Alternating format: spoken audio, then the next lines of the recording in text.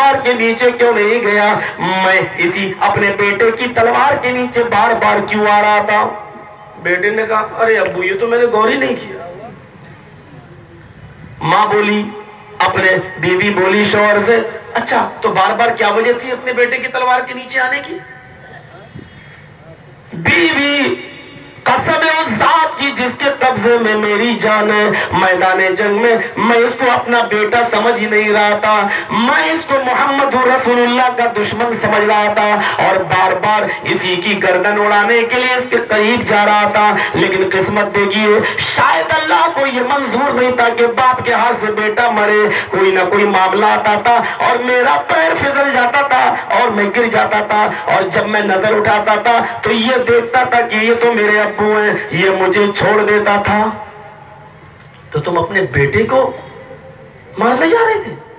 کہ ہاں اچھا اگر بیٹا پھسل جاتا اور آپ کی تلوار کے نیچے آ جاتا اور جب وہ چہرہ اٹھا کر دیکھتا آپ دیکھتے، یہ تو میری تلوار کے نیچے بیٹا ہے، تو آپ کیا کرتے؟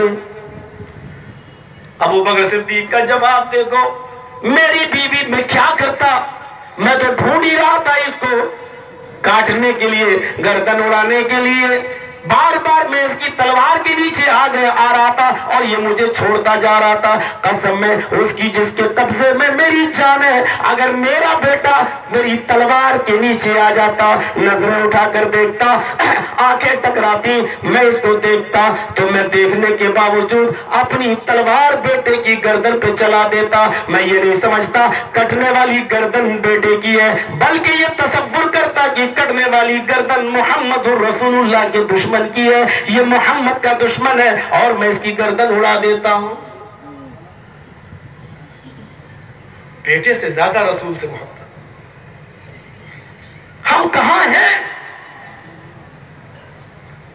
جرجی صاحب، بات تو آپ سے ہی کہہ رہے ہو۔ لیکن وہ کیک ایک والی بات آپ کو نہیں کہنا چاہیے تھی۔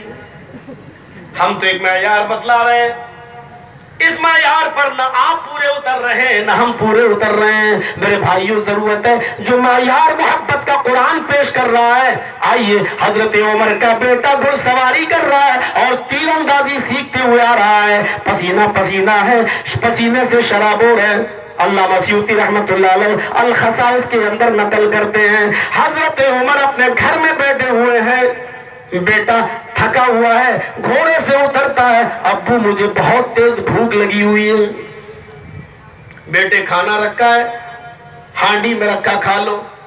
بیٹا، ہاتھ ہوتا ہے، پسینہ پوچھتا ہے اپنے رومال سے گمچے سے، دستی سے، اور دسترخوان بچھاتا ہے۔ ہانڈی کا ڈھکن کھولتا ہے۔ یہ کیا ہے؟ اٹھا سونگ رہا۔ یہ کیا ہے؟ ناک چڑھا لی۔ اللہ مسیحتی نقل کرتے الخصائص میں ناک چڑھائی۔ کیا ہے یہ؟ حضرت عمر کہتے ہیں ابدبا کدو۔ لوکی وہ لمبی سی جو آتی ہرے رنگ کی۔ ہمارے ہاں لوکی بولتے ہیں آپ لوگوں کیا اس کو کدو بولتے ہیں۔ کھا۔ ہم، ایسے یہ بھی کوئی کھانے والی چیز ایسے یہ بھی کوئی کھانے والی چیز اپنے باپ کو دیکھ رہا ہے۔ یہ بھی کوئی کھانے والی چیز۔ نہیں نہیں نہیں، کھا رہا ہوں۔ نہیں، کھا رہا ہوں۔ باپ کا ہاتھ دیکھا، تلوار کی میان پہ حرکت کر رہا ہے۔ نہیں، کھا رہا ہوں۔ بیٹھ گیا۔ کھانے لگا۔ اپنے بیٹوں کے زبانوں سے نکلی ہوئی ایک کو اندھا تم پوری کر دینے والوں ابو نہیں چاہیے پندرہ سو روپے والا موبائل اینڈرائڈ چاہیے۔ اب تو جیو چل رہی ہے۔ فری میں اسکیمیں آ رہی ہیں۔ اور باپ نے فوراً دلا دیا، لے بیٹا۔ بیٹے کی خواہش۔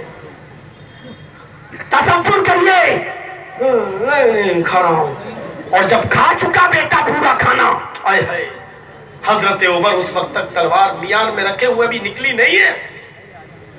جب بیٹا کھانا کھا چکا تو الفاظ پر غور کیجیے۔ آئے میرے لختے جگر، آئے میرے بیٹے، آج منع کر دیا کر دیا۔ نہیں معلوم تھا، کوئی بات نہیں۔ لیکن سن، میں نے محمد الرسول اللہ کو اپنی آنکھوں سے دیکھا۔ گوشت پکاتے تھے، اس میں کدو ڈالتے تھے گوشت بن کر سامنے آتا تھا گوشت کی بوٹیاں نہیں، کدو کے ڈھیلے اٹھاتے تھے، ٹکڑے اٹھاتے تھے اور شوق سے کھاتے تھے۔ یہ کدو میرے نبی کی محبوب غذا تھی۔ میں نے اس لیے یہ بنایا ہے کیونکہ میرے نبی کدو کو پسند کرتے تھے۔ آج منع کر دیا کر دیا۔ آج ناک چڑھا لی چڑھا لی آئندہ اگر کدو کھانے سے انکار کیا، قسم ہے، اس کی جس کے قبضے میں عمر کی جان ہے، میں تلوار بیان سے نکال کر تیری گردن پر تلوار چلا دوں گا۔ یہ نہیں دیکھوں گا کہ کٹنے والی گردن بیٹے کی ہے، یہ سوچوں گا کہ کٹنے والی گردن رسول کی سنت اور رسول کی محبوب خزا سے نفرت کرنے والے کی گردن میرے سامنے تڑپ رہی ہے۔ میرے بھائیوں، اس اسٹیج پر لا کر ہم اپنے آپ کو دیکھیں اور سوچیں کہ ہم کتنے پرسینٹ مسلمان ہیں اور کتنے پرسینٹ ہمیں محبت ہے۔ ہو گئی محبت۔ ایسے دعوے تو تین روپے کلو بکتے بکتے دو روپے کلو۔ دعووں کی ضرورت نہیں۔ قرآن ایک کسوٹی پیش کر رہا ہے۔ قولن کانا باؤکم وابناؤکم آئے نبی اناؤنسمنٹ کر دو، اعلان کر دو۔ اگر تمہیں تمہارے آبا و اجداد تمہیں تمہاری اولادیں اللہ اور اس کے رسول سے زیادہ محبوب ہے اللہ اور اس کے رسول سے زیادہ پسندیدہ ہے اللہ اور اس کے رسول سے زیادہ چاہتی ہے تو انتظار کرو اللہ کی طرف سے آ جانے والے کسی عذاب کا۔ قل ان كان آباؤكم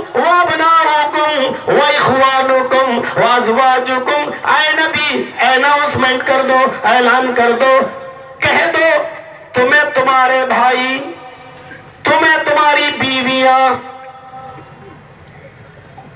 ایک اور جملہ بول دیتا ہوں۔ وعشیرتکم، اور تمہیں تمہارا کنبہ قبیلہ خاندان، یہ زیادہ محبوب ہے، یہ زیادہ پسند ہے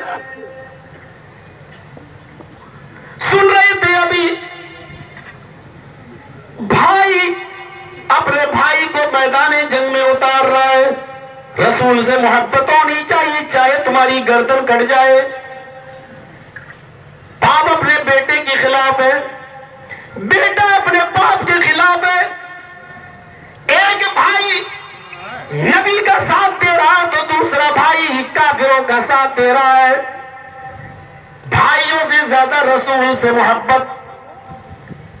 آگے کے جملے میری بہنیں آئی ہیں، مائیں آئی ہیں، ذرا غور کریں وازواجکم اور تمہیں تمہاری بیویاں۔ اگر یہ زیادہ محبوب ہے، یہ زیادہ پسند ہے تمہیں۔ اللہ اور اس کے رسول سے۔ یہ نہیں کہا بیویوں سے محبت نہ کرو۔ بیویوں سے محبت ہونی چاہیے۔ لیکن قربانی دینے کی بات آ جائے، تو بیوی کی محبت کی قربانی دے دی جائے، رسول کی محبت کی قربانی نہ دی جائے۔ خود اللہ کے رسول کو محبت تھی۔ قربانی کا گوشت بن کر سامنے آیا، اٹھا لیا۔ گوشت کی ہڈی ہڈی جس میں گوشت لگا ہوا تھا۔ ہڈی دار گوشت کو اٹھایا۔ زبان تک لے گئے، منہ تک، لیکن کھا نہیں پائے۔ ہونٹوں تک لے کر واپس کر دیا۔ حضرت عائشہ کہہ رہی ہیں، کیا ہوا؟ میں نے بڑے پیار و محبت سے گوشت بنایا اور آپ؟ نبی اکرم کی آنکھوں میں آنسو ہے عائشہ، آج مجھے خدیجہ کی یاد آ رہی ہے۔ آج مجھے خدیجہ کی یاد ستا رہی ہے۔ آج تم میرے پاس بیٹھی ہوئی ہو۔ کاش خدیجہ زندہ ہوتی تو وہ بھی میرے پاس بیٹھ کر کھانا کھاتی۔ آج وہ بھی ہوتی۔ یہاں جتنے بیٹھے ہیں سب غور کریں۔ میری ماں بہنیں بھی سوچیں۔ نبی اکرم کی عمر پچیس سال، شادی کر رہے ہیں چالیس سال کی عورت سے۔ جس کے دو شوہر کا انتقال ہو چکا ہے، بچوں والی ہے۔ تیسرے شوہر جناب محمد رسول اللہ ہے۔ آج وہ اس دنیا سے رخصت بھی ہو چکی ہے، چھیاسٹھ سال کی عمر پا کر۔ اس کے بعد آپ نے خدیجہ کے بعد کئی شادیاں بھی کی ہیں۔ عائشہ بھی نکاح میں آئی ہے۔ چھیاسٹھ سال کی عمر یعنی چالیس سال سے چھیاسٹھ سال تک۔ خدیجہ نبی کے ساتھ رہی۔ چھبیس سال کا یہ لمبا عرصہ خدیجہ کا محمد رسول اللہ کے ساتھ گزرا ہے۔ بوڑھی ہو کر اس دنیا سے رخصت ہوئی ہے لیکن آج قربانی کا دن ہے عائشہ گوشت بنا کر لائی ہوئی ہے اونٹ کا گوشت ہے۔ نبی کے سامنے آتا ہے، آپ اٹھا بھی لیتے ہیں ہونٹوں سے لگا بھی لیتے ہیں، لیکن پھر پیالے میں واپس کر دیتے ہیں۔ اما عائشہ پوچھتی ہے کیا بات ہے؟ جواب سنیے، آج مجھے خدیجہ کی یاد آ رہی ہے۔ آج مجھے خود خدیجہ کی یاد ستا رہی ہے۔ حضرت عائشہ نے تسلی دی، تشفی دیتے ہوئے تھوڑے سی یہ جملے کہہ دیے، اے اللہ کے نبی، اے میرے سرتاج، آپ اس بوڑھی عورت کو بہت یاد کرتے ہیں، وہ بڑھاپے کی دہلیز تک پہنچ گئی، آپ کی کسی کام کے لائق نہ رہی، اور وہ اس دنیا سے رخصت ہو گئی۔ ہم جوان ہیں، خوبصورت بھی ہیں، آپ کو ہم سے فائدہ بھی اٹھانا چاہیے۔ ہم ہیں یاد کرتے رہتے ہیں۔ آہ، محمد رسول اللہ کا جواب سنو۔ عائشہ، آگے جملے مت بولو۔ عائشہ، زبان کو لگام دو۔ آگے کے جملے تم ادا نہ کرو۔ خدیجہ کے بارے میں یہ جملے تم نہیں بول سکتی ہو۔ اے عائشہ، تم نہیں جانتی ہو۔ خدیجہ کون عورت تھی؟ خدیجہ کیا عورت تھی؟ عائشہ، جب سارا عرب مجھے جھٹلا رہا تھا، جب سارا مکہ میری تکذیب کر رہا تھا تو خدیجہ اکیلے میری تصدیق کر رہی تھی۔ سارا مکہ جب میری تکذیب کر رہا تھا تو خدیجہ اکیلے اشہد ان محمد عبدہ و رسول پڑھ رہی تھی۔ جب لوگ پتھروں سے میرا سر زخمی کر رہے تھے اور کوئی پرسان حال نہیں تھا میرے پاس، میرے خدیجہ اپنی دامن کو پھاڑ رہی تھی، اپنی اوڑنی چاک کر رہی تھی اور میرے سر سے ٹپکنے والے خون کو پوچھ رہی تھی اور صاف کر رہی تھی۔ عائشہ، خدیجہ کے بارے میں یہ جملے آئندہ مت بولنا۔ اور سنو، میں اس وقت تک کھانا نہیں کھاؤں گا جب تک کہ خدیجہ کی سہیلیوں کو گوشت نہیں پہنچ جاتا محبت تھی؟ اور ایسی محبت کر کے کون دکھائے گا؟ یہاں تو ہے۔ دوسری کا لوگا۔ دھمکیوں پہ دھمکی۔ اور کیا کیا کہتے ہو؟ واٹس ایپ پہ دیکھو کیسے کیسے چٹپٹے لوگ فارمولے بھیجتے ہیں۔ صبر کریں آپ۔ محبت کر کے بھی دکھائی۔ بتایا۔ لیکن محبت کو قربان کرنا بھی سیکھو۔ ناجائز بات بیوی کی نہیں۔ ناجائز بات نہیں۔ گدھے کا گوشت پکا ہوا ہے۔ ابھی گدھے کا گوشت ابھی مردہ جانور کا گوشت حرام قرار نہیں دیا گیا۔ مرے ہوئے جانور کا گوشت پکا ہوا ہے۔ ایک صحابی اپنے گھر میں بنائے ہوئے ہیں۔ ابو داؤد پڑھیے، کتاب الجہاد کا منظر دیکھیے۔ اللہ کے نبی صلی اللہ علیہ وسلم کے ایک صحابی مسجد کے اندر بیٹھے ہوئے ہیں۔ نبی کے صحابی مسجد میں بیٹھے ہیں۔ یہاں بچے چیخ رہے ہیں، امی مجھے کھانا دے دو۔ امی مجھے کھانا دے دو، بھوک لگی ہے۔ امی نے دسترخوان بچھا دیا۔ ماں نے ہانڈی رکھ دی۔ ماں نے پلیٹیں لگ لگا دی۔ بیٹے، تھوڑی دیر رک جاؤ۔ میرے بچوں، تھوڑی دیر انتظار کر لو۔ ابھی محمد رسول اللہ صلی اللہ علیہ وسلم کے پاس گئے ہیں، تمہارے ابو مسجد میں گئے ہیں۔ تھوڑا درس ہو رہا سن رہے ہیں۔ ابھی مسجد سے آنے والے ہیں، وہ بھی بیٹھیں گے اور ہم سب بیٹھ کر کھانا کھائیں گے۔ ہم بھی کھائیں گے، تمہارے ابو بھی کھانا کھائیں گے۔ اے میرے بچوں، تم بھی کھا لینا۔ کی حکم اللہ پڑھ رہی ہے؟ میری بہنیں ذرا سنیں۔ تھوڑی دیر کے بعد باپ آتا ہوا نظر آیا۔ بچوں سے مانے کا دیکھو، تمہارے ابو مسجد سے نکل آئے ہیں۔ وہ آ رہے ہیں۔ بچوں پلیٹیں اپنے پاس رکھ لو۔ بچوں نے پلیٹیں لے لی ہیں۔ باپ گھر میں داخل ہوتا ہے۔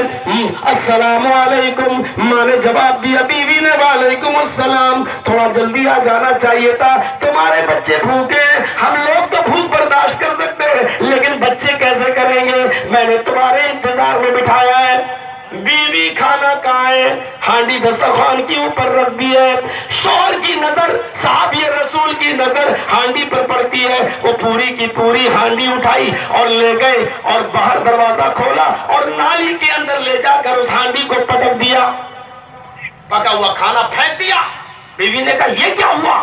یہ کیا کیا؟ کہنے لگے، نہانا رسول اللہ صلی اللہ علیہ وسلم انہو بالمیتتا آج اللہ کے رسول نے مردہ جانور کے گوشت کی حرمت کا اعلان کر دیا ہے آج کے بعد مردہ جانور کا گوشت نہیں کھایا جائے گا اللہ کے رسول نے مردہ جانور کا گوشت حرام کر دیا ہے لہذا ہمیں معلوم تھا کہ اس میں مردہ جانور کا گوشت پکا ہے میری بیوی اپنے بچوں کا بھوکا رہنا گوارا کر لوں گا بھوکا دیکھنا گوارا کر لوں گا لیکن محمد رسول اللہ کی نافرمانی گوارا نہیں کروں گا اس منظر پر لا کر ہم اپنے آپ کو کتنی حرام کام ہوتے ہیں ہمارے پاس؟ گھر میں جو ہوتے ہیں ان کو چھوڑ دیجیے، صرف ایک شادی لے لیجیے۔ کتنے مہنگے مہنگے کارڈ چھاپے جاتے ہیں۔ کتنے مہنگے مہنگے شادی ہال بک ہوتے ہیں۔ کتنے مہنگے مہنگے ڈریسز کی ڈیمانڈ کی جاتی ہے۔ ہم اس طرف جائیں گے تو پھر بات تھوڑی لمبی ہو جائے گی۔ ہم نظر ڈالیں۔ ایک صحابی مسجد میں نماز پڑھنے کے لیے تشریف لے گئے۔ گھر کا منظر یہ تھا کہ وہ کہتے کہ میری بیوی ام ولد تھی۔ میری ایک ام ولد تھی۔ آئے اللہ کے نبی اس سے میرے دو بچے تھے، مثل اللولوتین بالکل موتیوں کی طرح تھے۔ چگنوں کی طرح، موتیوں کی طرح بڑے خوبصورت۔ میں گھر کے اندر گیا، جیسی گیا وہ حج کرنے لگی، آپ کی برائی کرنے لگی۔ اے اللہ کے نبی، وہ آپ کو گالیاں دینے لگی۔ میری نظر کھنجر کی اوپر پڑی۔